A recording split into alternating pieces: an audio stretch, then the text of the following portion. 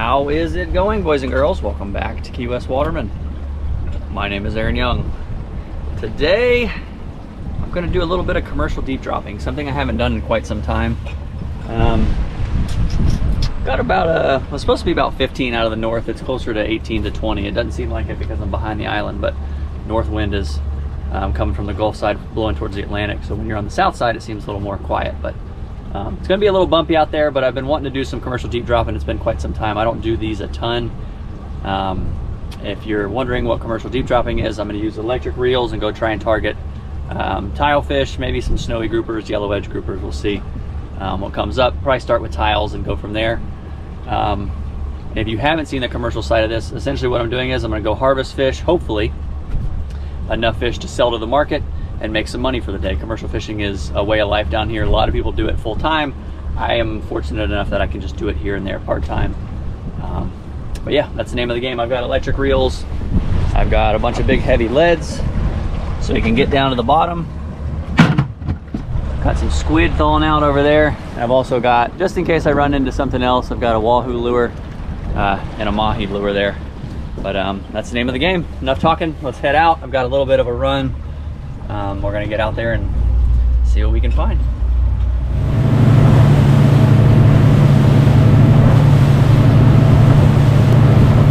Wear your sunscreen. Take it from me, don't be a dummy.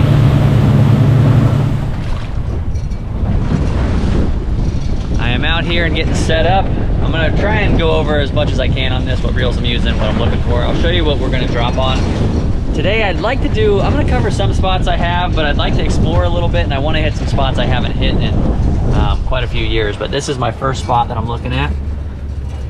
Uh, it's not much, over 500 feet. We're gonna start looking for some blue line tile fish. Just kind of, you know, it's pretty subtle if you zoom in. Whoop, zoom in on this one. You can see there's a little bit of movement there, not a whole lot, but um, we're gonna give that a try. What I am fishing is uh, Tanacom 1000s. These are on the lower end of the spectrum of deep drop reels. Um, they're cheap enough that if you get a few years out of it and it burns up, you don't, you're not gonna cry about it. But um, this one has a custom rod from a friend of mine, Matt Conrad. I, he got from another friend. Um, I've had for quite some time. That thing will not die no matter what I do to it. And this rod is a uh, Saltiga something there's a hundred different rods you can use. You just need a, a bent butt um, that has a little bit of backbone to it. This one's actually really soft. Um, and what because I am starting with blue line tiles, I'm gonna go with a smaller hook. Got a nice long rig here, four hooks. Got a light up top and then down to a four pound lead and I've got some squid thawing out. And when it comes to deep dropping, as far as conditions, what do I want personally? I want there, well, I'd like it to be a little calmer than this because the wind will throw your drift off, but I want there to be a little bit of a current, but I don't want it to be smoking current. I do not want to be in the Gulf Stream. Um, personally, I like it between half a knot to a knot. That way I'm moving a little bit, just enough to cover ground, but I'm not screaming across the bottom where if I snag, I'm gonna break off. Um, there's actually a website, I'll put a link to it. I think it's like Passage Weather or something like that, that actually shows the edge of the Gulf Stream. That's our biggest body of current down here that moves. Um, so it'll show where the edge of the Gulf Stream is, and that's something I check when preparing um, to go deep dropping, or I talk to some of the other commercial captains, but um, that's actually a pretty useful resource. Um, other than that, first thing I do is uh, set up, see which way my drift is going. I'm pretty much going with the wind. I'm drifting due south right now. Um, so it tells me there's probably not a lot of current, but um, that's the name of the game. We're gonna hit some of that pretty subtle bottom, throw some squid on here, and uh, enough talking. Let's do some fishing.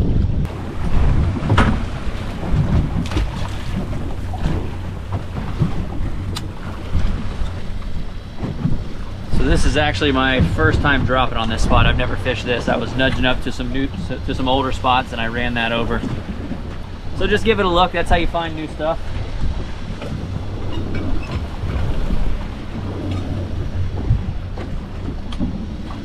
gonna share an opinion no one asked for. Um, when it comes to this deep dropping stuff, fairly debated as far as recreational seasons, commercial stuff. Everyone gets a little uh, upset about it, which I get. Um, I personally think it was mismanaged for a little while. I think they recently changed some of the regulations, but um, one of the issues is they'll leave one species open and then leave the rest closed. And your average person, if you want to come out here and try it, I love that. Come try something new, but your average person doesn't know where to locate a particular species. So for example, they would leave golden tilefish open and then snowy grouper and blue line tile would be closed. Well, you have people that come out and that don't really know where the golden tiles are and they catch a bunch of snowies and blue lines and have to float them and you can't keep them.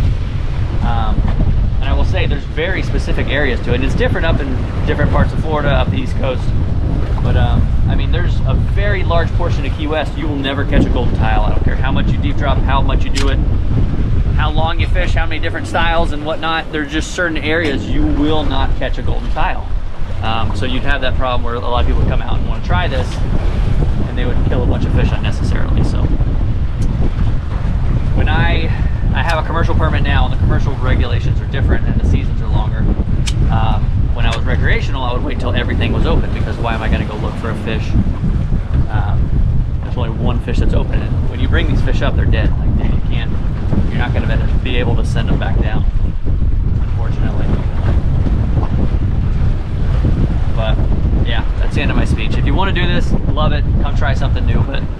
Um, I just I recommend waiting until everything is open. That way you don't come out here and have to kill a bunch of fish. Like for example, snowy grouper is one per boat. So you catch one snowy grouper, you're done for the day as far as snowies go. And once you do it long enough, you get pretty good. Um, you can kind of pinpoint the areas that certain fish are going to be, different species.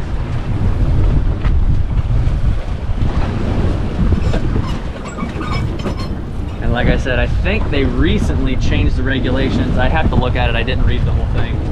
I think they changed the regulations for the recreational season. So I'm on the bottom. Um, again, I didn't fish this. I've never fished this spot before. Kind of giving it a tester. Essentially what I want to do, I want to let it sit on the bottom. Some people like to bounce it. You just have to be careful laying it on the bottom because there's a lot of rocks and stuff down there. You can snag and break everything off and you really don't want to do that. These leads alone, those four pound leads I think are 18 bucks, 20 bucks, something like that. I haven't bought any in a while, but. So there is absolutely no current. If I'm backing into the wind, I'm sitting still. I'm just drifting with the wind, so I'm gonna drag it for just a sec.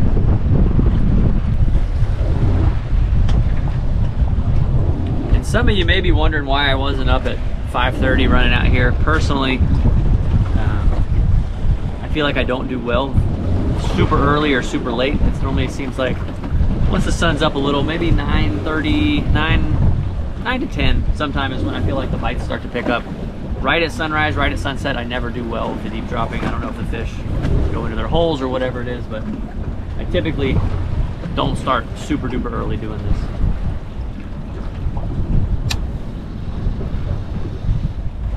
Four spots there, four or five. Um, little bites, not what I'm looking for. A couple baits got picked, it just didn't pull anything up. So I'm gonna take a hint and uh, move down about 10 miles. I haven't fished, like I said, I haven't fished those spots in quite some time, but maybe they're just, maybe they're outfished or they need some more time or it's just not a good day, I don't know. But anyways, not catching fish here. I'm gonna run down about 10 miles and we'll try a new area. All right, we are heading down to the bottom, new area, about the same depth and same style bottom, just real small, subtle ledges.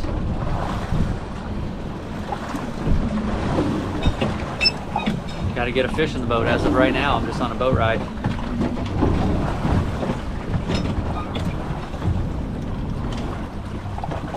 I'm on the bottom.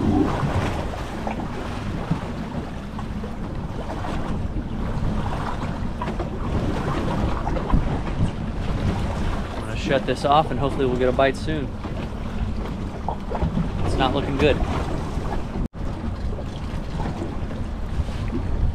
don't know how I didn't realize that. I got picked. The only bait they didn't get completely was the top bait. We're going to try that one again.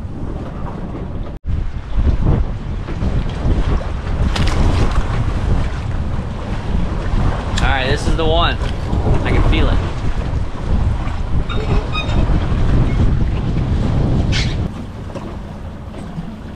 On the bottom. I'm gonna stay a little tighter on this one. I got picked last time, three bottom baits. I saw little nibbles, but I didn't see anything big. Maybe I just missed it. I wish I could see down there, like what's going on. Really would love to have a submarine.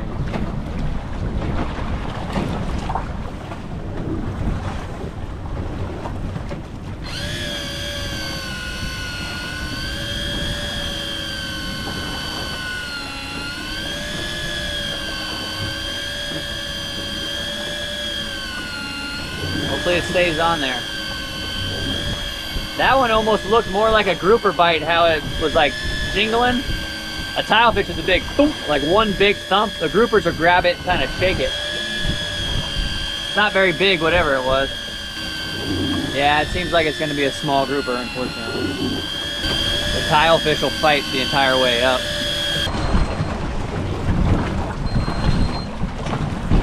Oh, it's a little yellow edge.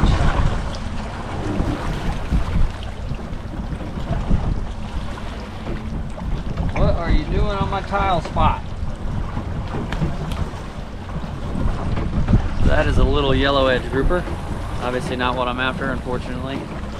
Sometimes it happens, it's the nature of the beast. They're beautiful little fish. Gotta brain them.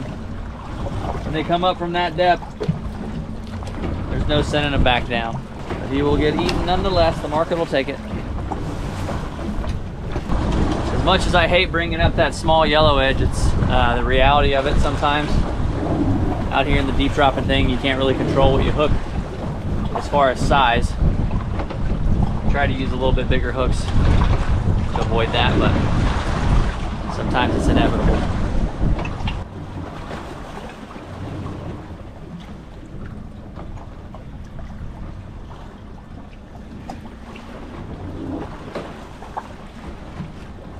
Nope, that's a bite.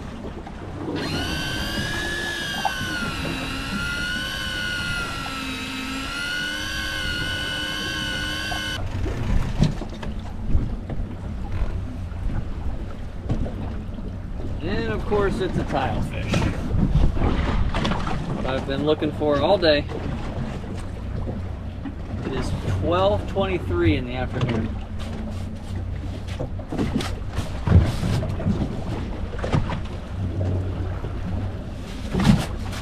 I know, buddy. I'm sorry. In one second, I'll show you what it looks like. Why we use those circle hooks because they set so well in there. This is what I've been after. This is kind of a smaller to average small uh, blue line tile. They get a lot bigger. I get, I think my biggest is up to 13 pounds. You can see they got that blue line on the face. Um, but that's what I've been targeting. They've just given, been giving me a run for my money, but I think they're just giving me one just to keep me here. So I'm gonna call call this endeavor and try something else. We're gonna re-rig these up, put some bigger hooks on, and we're gonna go try and find some snowy groupers because, like I said, it's already 12:30. At this pace, I'm not gonna make any money either way, so I might as well put the time in and try and find some new spots and maybe potentially hook a bigger, bigger grouper or something that'll be worth more money. So um, that is our one lone tile fish. Um, we're gonna keep trying something else. Not gonna give up.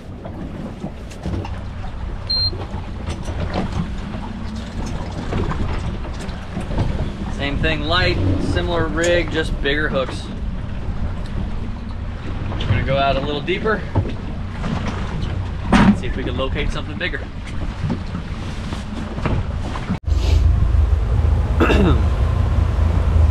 Exploring for new spots is extremely uh, boring, tedious, uneventful, all the above. So I make it a deal. If I find or when and if and when I hook something, I'll turn the camera back on and I'll show you what I caught it on. But there's a lot of not catching that goes on with this. But normally, if you put the time in, you can find a good spot or two. So when I hook something, I'll turn the camera back on and show you what's going on.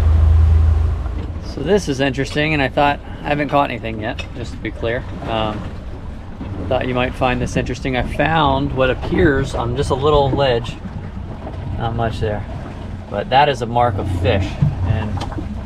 In my experience, that far off the bottom, that's probably going to be barrelfish. I don't know if that's a species I've shown you guys, but for the life of me, I cannot get whatever it is to eat. So maybe it's not, but um, just pretty neat to see out in the middle of nowhere. And I've ran over them three times. They're sitting in the same spot. Fish out in the middle of nowhere. So I'm trying. Those uh, those actually pull a good price at the market. So it'd be cool if I could get into them, but again, I cannot get them to eat, or just can't get the bait where they are in the column. It can be tricky. I'm trying though. It's just all bad news today. Whatever that ball of life was, I got it two more times. I just couldn't, by the time I'd get the bait down, that'd be off the mark. They were moving really fast, whatever it was. May not have been barrel fish, I don't know. But I couldn't hook it, that's for sure. So I'm gonna keep moving along.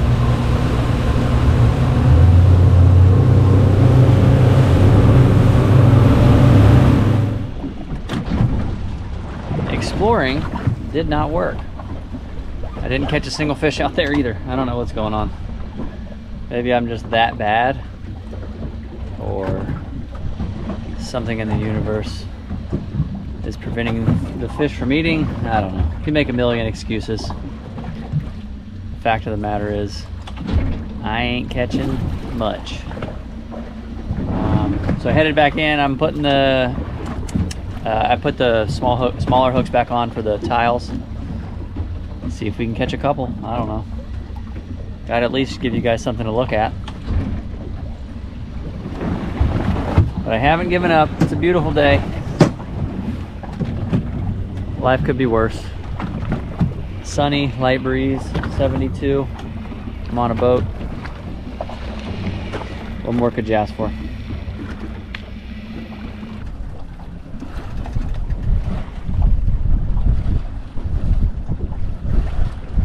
Come on, man. It felt like tile tugs.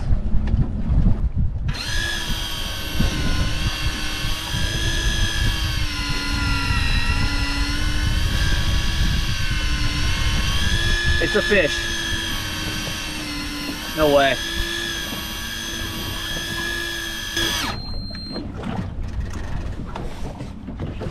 Holy mackerel, it's a tile fish.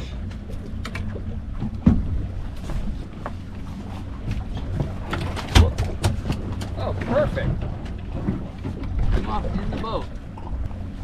I know it's not pretty, but when they come up that fast, the gases expand. That's why the eyes will bulge like that, and you can see the stomach is coming out of the mouth. It's just a part of it.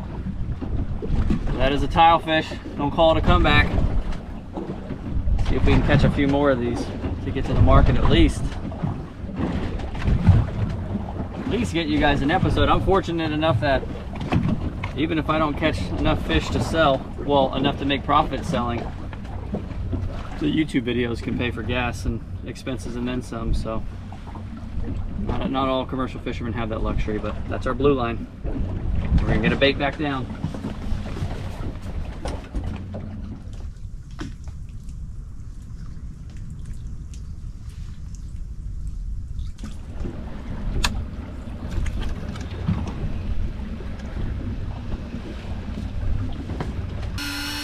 Didn't even have the camera on right when it hit the bottom.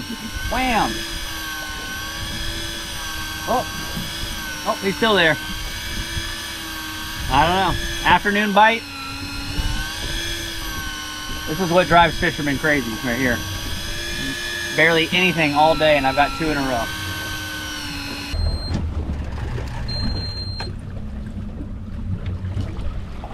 Another tile.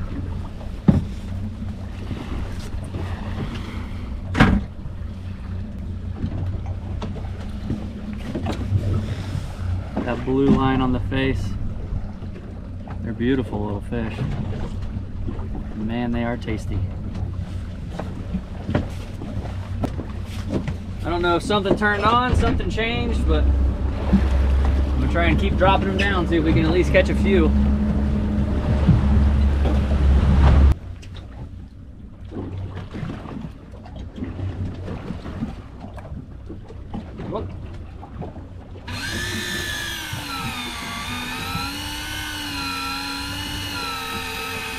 Looks like a decent tile.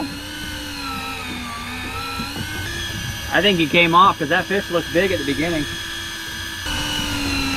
Dang it. Yeah, he came off.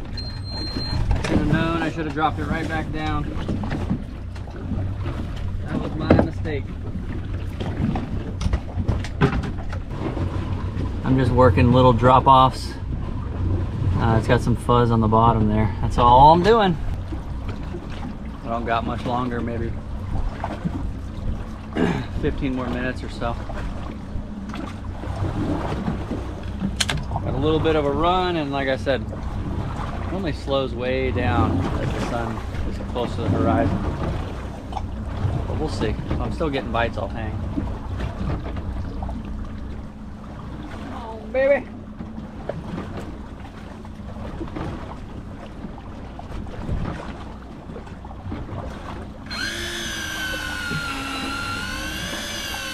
Stay on there, baby.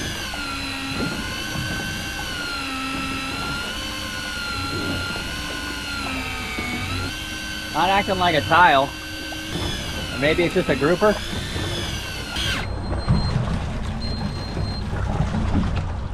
That's a little grouper. A little snowy.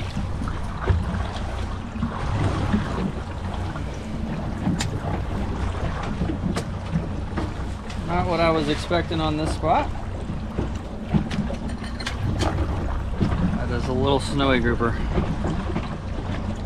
Not the size that I want, but you can see the little white dots. That's why they call them snowies, little snowflakes. Normally don't get snowies in here on these uh, shallower tile spots, but sometimes the small ones do make it in here, unfortunately. But you can look at it either way. If you kill the big one, you killed the breeder. If you killed the small one, you killed the baby. But depends how you look at it, I guess.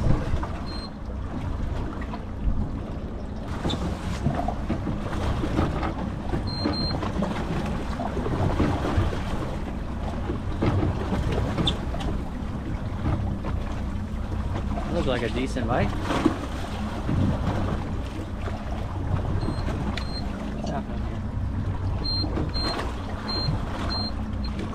There's a fish on there and I can't get this to turn on.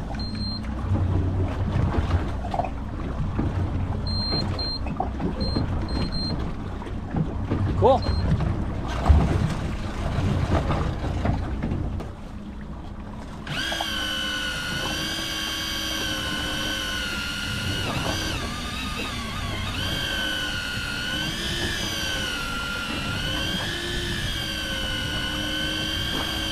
Reel maybe on its last leg. I don't know what the heck that was. Gotta be a tile. It's still fighting me.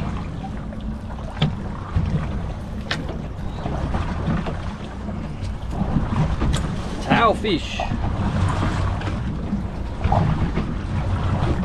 Okay, okay.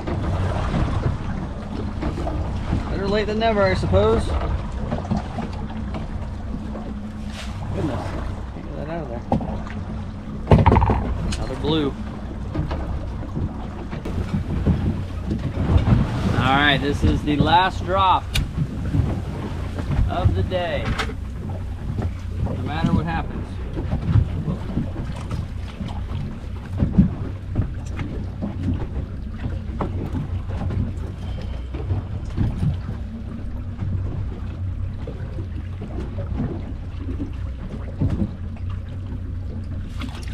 Last drop of the day. Down she goes.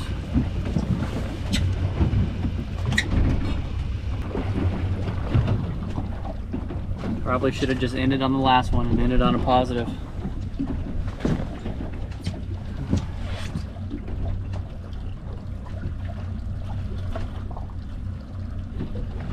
Just wanted to try one more.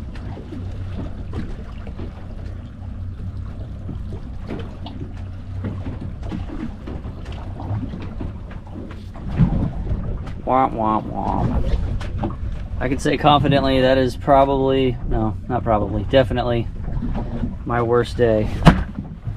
Commercial deep dropping.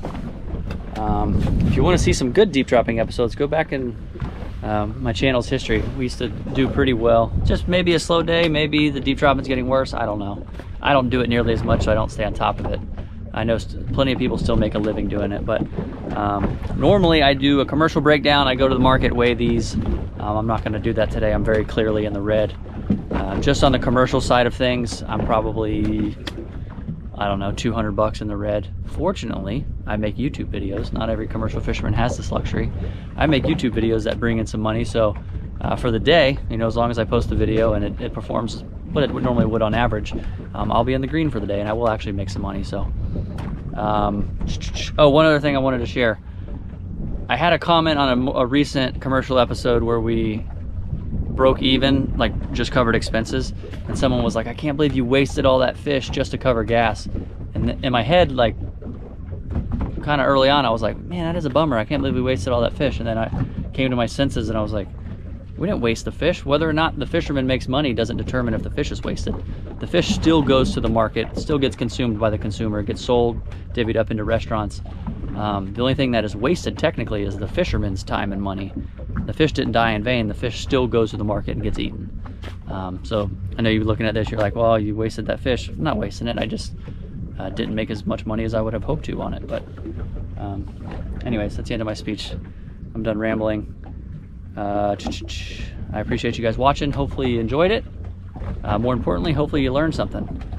Um, one of the reasons I don't do these very often, the deep drops, it's just it gets slower and slower each year. Um, but what can you do? Maybe I just stink at it. I know a lot of people still make a living doing it, like I said, but um, I'm still talking. I'll see you guys on the next one. Any questions, leave in the comments. I'll do my best to get to them. Other than that, I'm gonna keep making videos. I will see you later. We gone.